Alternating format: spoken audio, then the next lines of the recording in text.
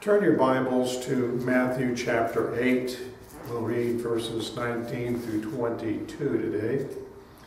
The title of our thoughts is Let the Dead Bury Their Dead.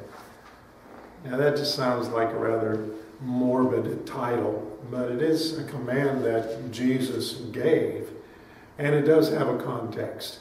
So let's read that context. Then a certain scribe came and said to him, Teacher, I will follow you wherever you go. And Jesus said to him, Foxes have holes and birds of the air have nests, but the Son of Man has nowhere to lay his head.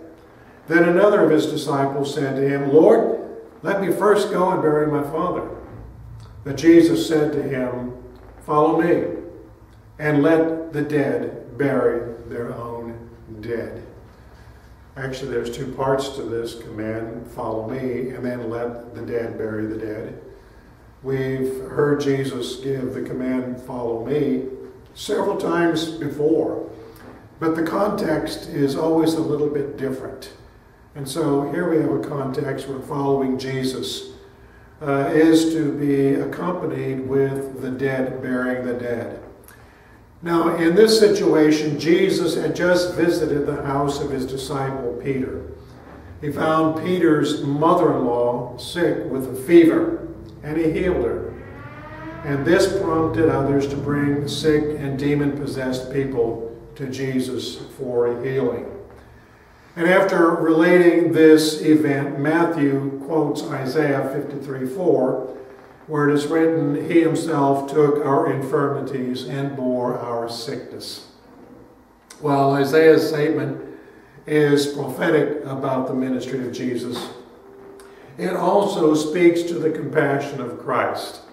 See, Jesus really cares for people, and he wants to meet their needs. Always think about that when you think about Jesus. He really does care for people and he does want to meet people's needs. And today, Christ has not lost his compassion. It is his will to express his compassion through his earthly body, the church. And he will do that if we will let him. And to some degree, the command we consider today leads us to do just that. The event in our text happened just after the healing at Peter's house, but after Jesus and his disciples had gone to the other side of the Sea of Galilee. Apparently, the word of what had happened preceded him, and because of that, a certain scribe came to Jesus. Now, I don't know how the word traveled so fast. Uh, the Sea of Galilee, I mean, it's not that big, but it takes a little while to get from one side to the other. I don't know if, you know, people there, uh, you know, got on their uh, computers and sent emails to their friends over there, got on their cell phones or sent texts or something, uh, carrier pigeons or what. But apparently, uh, the word got to the other side. And this certain scribe came to Jesus. So, who was this man? And what is a scribe? The word scribe comes from the Hebrew word sophar, meaning to mark, as in making a tally, or to record. As the title of an office, it may date as far back as the time of Joshua. In Joshua 15:15 15 and Judges 1:12, we read how Caleb took certain cities in Judah, and one of them was called Debir, which had previously been named Kiriath Sefer, Sefer being the Hebrew word Sophar. Taking this city was so important that Caleb offered his daughter in marriage to whoever would take the city. Ladies, aren't you glad the world has changed a little bit? you weren't just handed off as a piece of merchandise or as a reward. So he uh, offered his daughter to whoever would take the city. His nephew, Othniel, managed to do that, married the daughter, And listen, eventually he became the first judge of the Israelites, this man Othniel, who took this city, Kiriath Sefer. So Sefer, or Sopher, becomes associated with somebody who is in a position of leadership. So, the meaning given to the title in the time of Jesus was one learned in the law and a teacher of the law. That's what the scribe means when we see it here in this passage. One who has learned in the law, one who teaches the law. And the law being the law of Moses. The office of scribe was instituted with the return of the Jews from Babylon, beginning with the reading of the Pentateuch to the people by Ezra. And from that time, the law of Moses was acknowledged by Israel as the binding rule of life. That was their law, both their religious law and their civil law. In Jesus' time, scribes were really legislators, and the judgment of the rabbinical scribes determined what was valid law. They're the ones who reviewed things and thought about things and said, this is lawful, this is not lawful. They were the ones that made those decisions. And in developing and establishing the law, a law of custom evolved in addition to the law of Moses. See, the Jews of Jesus' time, they had a lot of laws.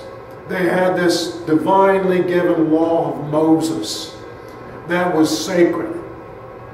But they had another body of laws that were explanations of the law of Moses, interpretations of the law of Moses, that were looked upon not as just somebody's idea, but as binding on the people as the law of Moses.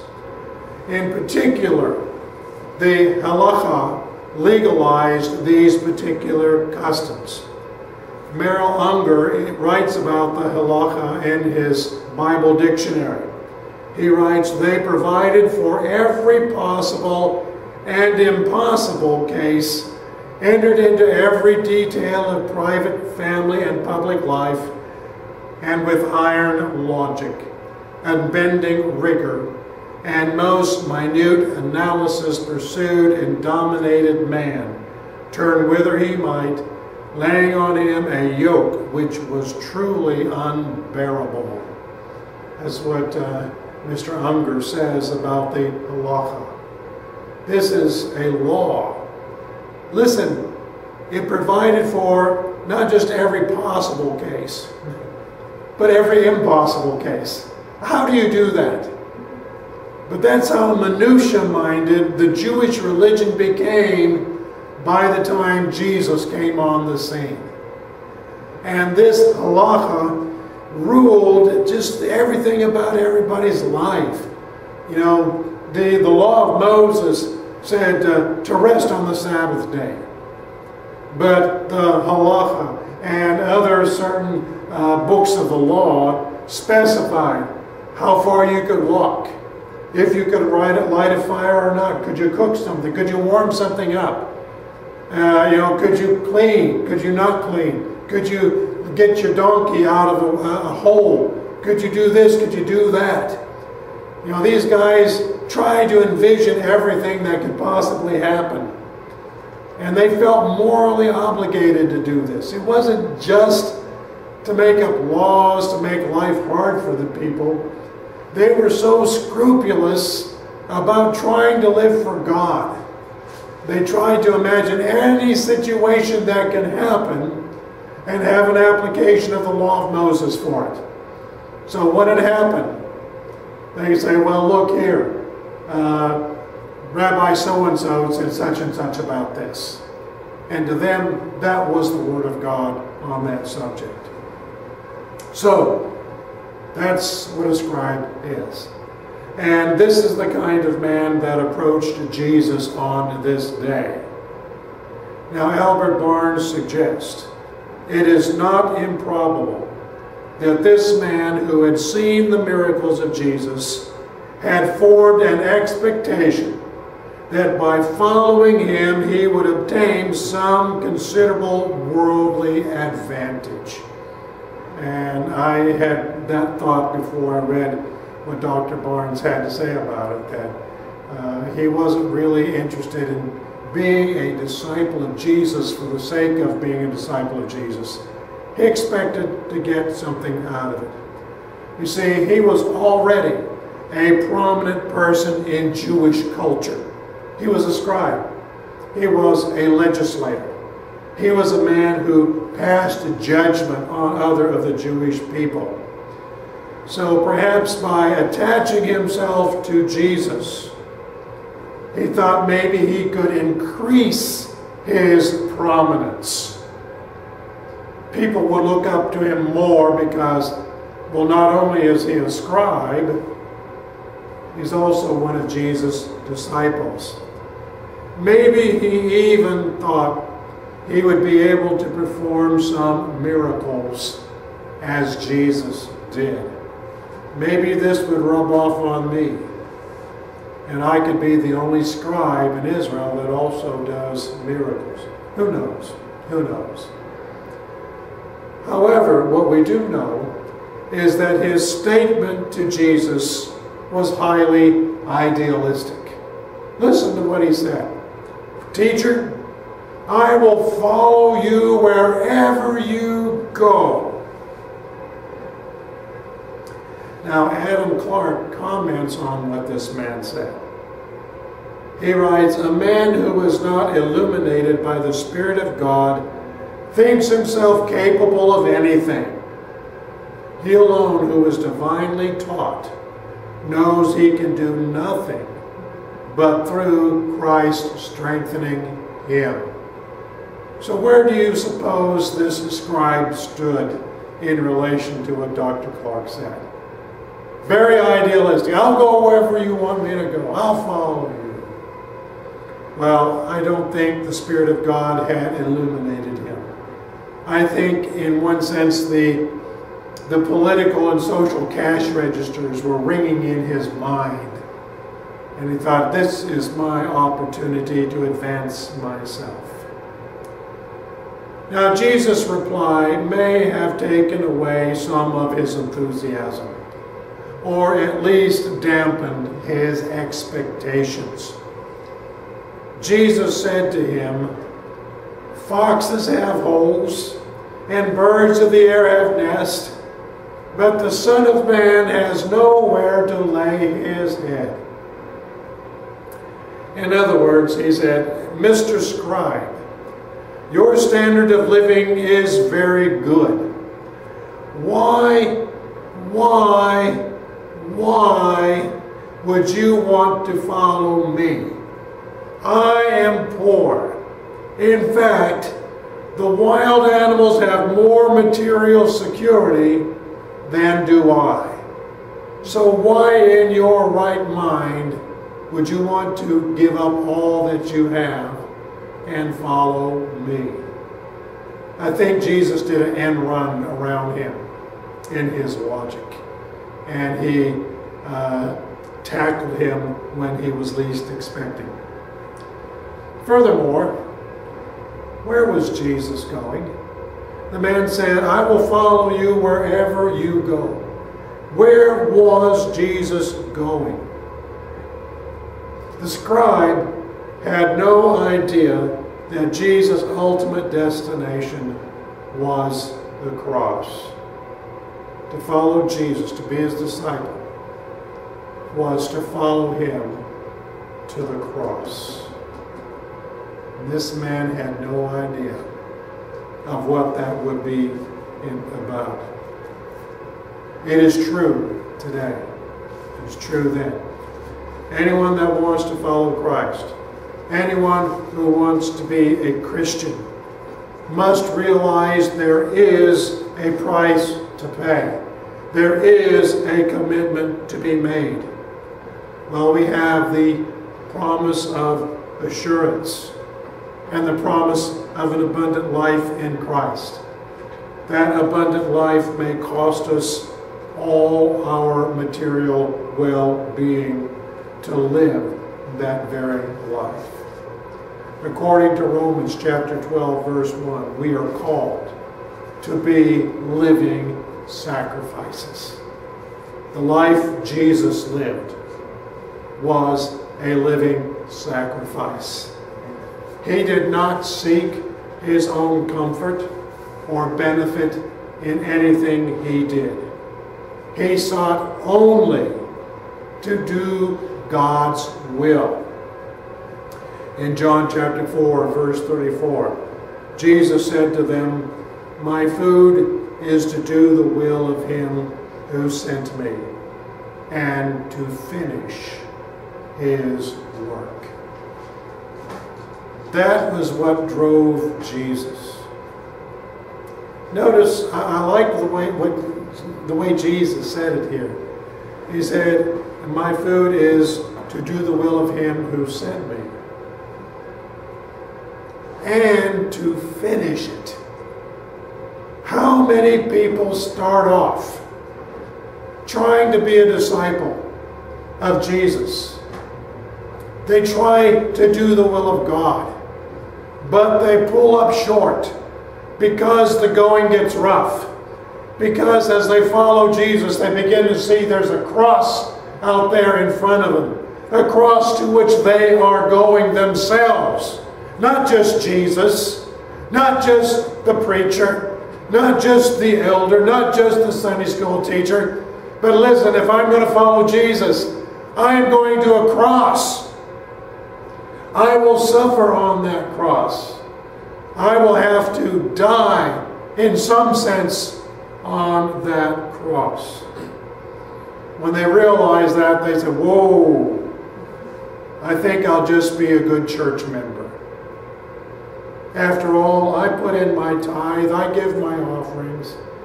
I'm here every Sunday. I do enough for the kingdom of God. God has to appreciate that. And preacher, you better appreciate that, or I'll find me another church to go to where I will be appreciated. certainly doesn't sound like Jesus' attitude. Does not sound to me like a disciple of Jesus. Albert Barnes Barnes again makes an insightful observation on what Jesus said in what we just read. If you remember in the fourth chapter of John, Jesus is speaking to the Samaritan woman at the well. And Dr. Barnes says about this his great object, the great design of his life, was to do the will of God. He came to that place, to this well there in Samaria. He came to that place weary and thirsty, and at the usual time for meals, probably and hungered. Yet an opportunity of good presented itself, and he forgot his fatigue and hunger, and found comfort and joy in doing good, in seeking to save a soul. This one great object absorbed all his powers and made him forget his weariness and the wants of nature. The mind may be so absorbed in doing the will of God as to forget all other things. Intent on this, we may rise above fatigue and hardship and want and bear all with pleasure in seeing the work of God advance we may learn also that the main business of life is not to avoid fatigue or to seek the supply of our temporal wants, but to do the will of God, the mere supply of our temporal necessities. Though most men make it an object of their chief solicitude, is a small consideration in the sight of Him who has just views of the great design of human life. If you see why we are here, why we are alive, why we exist, the will of God becomes more important to you than the necessities of life. And friends, you will be able to rise above those necessities to do the will of God. Immediately after Jesus replied to the scribe, one of Jesus' disciples spoke up with what might appear to be a strange request. Now, this disciple is not one of the twelve apostles, but one of the group of disciples that followed, was following Jesus. After hearing about the poverty involved in following Jesus, he may have had second thoughts about being a disciple of Jesus. His request was this Let me first go and bury my father. I think that's a reasonable request, don't you? Just think about it, you know, just burying my father.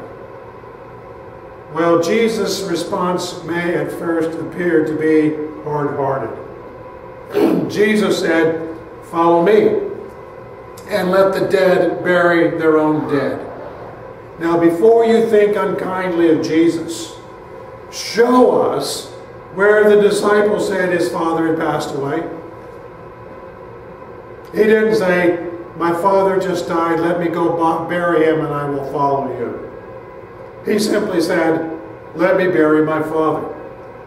It may be that his father was still living, and this disciple felt he needed to stay close by until his father did pass away. Life and relationships do place responsibilities on us. And taking care of our aged parents is one of those responsibilities. All too many who profess to be disciples of Jesus, however, allow earthly relationships to stand in the way of a truly meaningful relationship with Christ. Again, I point out, Jesus was on his way to Calvary to accomplish God's purpose for sending him into the world. And that purpose was our salvation from sin. So Jesus was telling both the scribe and this disciple, if you really want to follow me, follow me. Talk is cheap. And I believe in Christianity there's just an awful lot of talk and there's very little following. Go ahead and criticize me if you want for being too judgmental on people. I'm not thinking of any particular individuals, but I just see the, the state of American Christianity, and I just don't see a lot of people who are following Jesus as if they were going to the cross with him themselves. This disciple wanted to follow Jesus and yet still stay in his present circumstance. And Jesus said to him, That can't happen. To be a disciple of Jesus, your circumstances have to change if you follow him. Or perhaps it is better to say it this way you have to change in your circumstances if you are to follow him. After all, you are headed to the cross if you are truly Jesus' disciple. By this I mean that Christ must take precedence over all relationships, over all events, over all situations in your life. Those things, Jesus said, must die. So let the dead bury their dead. Again, Albert Barnes gives us some valuable enlightenment on what Jesus is saying. The word dead is used in this passage in two different senses. It is apparently a paradox. but it is fitted to convey his idea very distinctly to the mind. The Jews used the word dead often to express indifference towards a thing, or rather, to show that the thing has no influence over them. Thus, to be dead to the world, to be dead to the law, to be dead to sin, means that the world, law, and sin have not influence or control over us. That we are free from them, and as though they were not. A body in the grave is unaffected by the pomp and vanity, by the gaiety and revelry, by the ambition and splendor that may be near the tomb. Just drop by any cemetery here. And I don't care what kind of celebration, what party would be going on around that cemetery. It does not affect the people in the cemetery at all. They just don't care anymore. So, men of the world are dead to religion. They see not its beauty, hear not its voice, are not won by its loveliness. This is the class of men to which the Savior referred here. Let men, says he, who are uninterested in my work and who are dead in sin, take care of the dead. Your duty is now to follow me. Jesus expands on his thought later in Matthew chapter 10, verses 37 and 39, where he says, He who loves father or mother more than me is not worthy of me. And he who loves son or daughter more than me is not worthy of me. And he who does not take his cross and follow after me is not worthy of me. He who finds his life will lose it. And he who loses his life for my sake will find it. This is not a call to irresponsibility. It is a call to put Christ and your relationship with God ahead of every other relationship you have. In doing so, you won't be abandoning your responsibilities in those relationships. I want you to be aware of that. In fact, you will actually live those relationships in accordance to God's will. If you love God first, then and only then will you learn how to love your father and mother. It is then you will comprehend what it means to be the son or daughter God intended for you to be. And that applies for any other relationship husbands and wives, friends, employers and and uh, employees and so forth like that. With a God first relationship, we as the body of Christ then will be able to live out the compassion Christ wants to express to the world through his body, the church. So you may be a very knowledgeable person, such as was the scribe.